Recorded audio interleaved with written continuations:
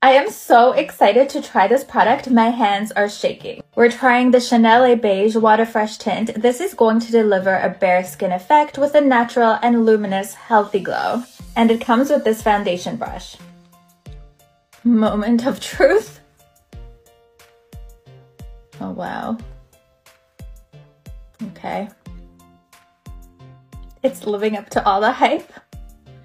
I'm getting a bit emotional. This is so stunning. This is my skin, but better. This is everything I wanted it to be and more. I can honestly say I've never tried anything like this and I have tried it all. The formula is so unique. It's giving the most perfect my skin but better finish. It is very, very sheer and lightweight. If you do have a more mature skin type, this would be ideal. If you have dry skin, this would be incredible for you.